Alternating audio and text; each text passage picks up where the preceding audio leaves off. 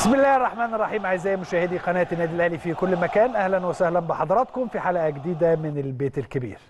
إن شاء الله في الجزء الثاني من هذه الحلقة النجم الكبير كابتن رضا شحاتة نجم النادي الأهلي السابق ومنتخبنا الوطني. وكلام مهم جدا عن أمور فنية داخل مباراة النادي الأهلي ومازيمبي والمباريات القادمة للنادي الأهلي.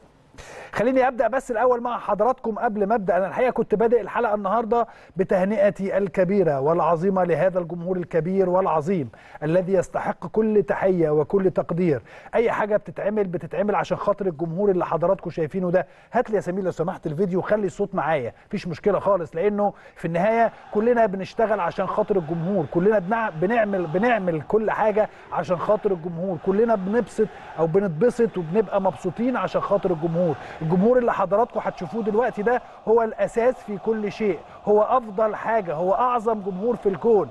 بالنسبة لنا كأهلاوية إن اللي حضراتكم شايفينه ده هو أعظم حاجة بن... والله العظيم ثلاثة أنا بتكلم هذا الكلام من قلبي. من قلبي. هذا الجمهور يستحق أفضل من أفريقيا يستحق بطولة كأس العالم. هذا الجمهور يستحق أفضل حاجة في الدنيا. صدقوني لما بنيجي نتكلم دائما بنتكلم عن هذا الشكل وهذا اللي إحنا وهذا الأمر اللي إحنا عايزينه.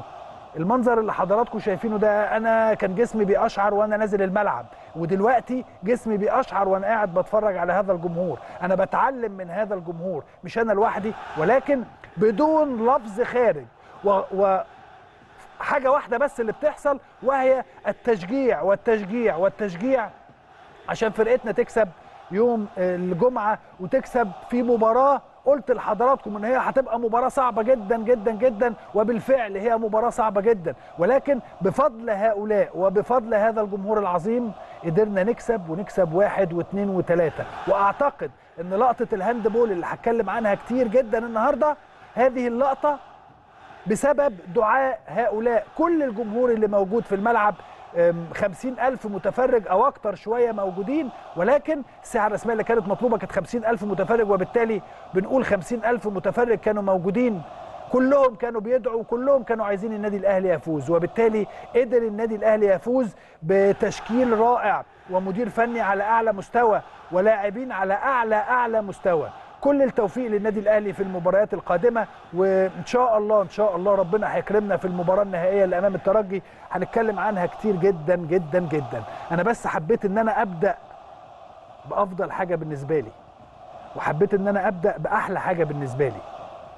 مش بالنسبة لي أنا بس بالنسبة لكل من ينتمي لهذا النادي الكبير والعريق. أحلى حاجة في الدنيا إن أنا أسمع هذا الصوت. سمعني يا سيدي.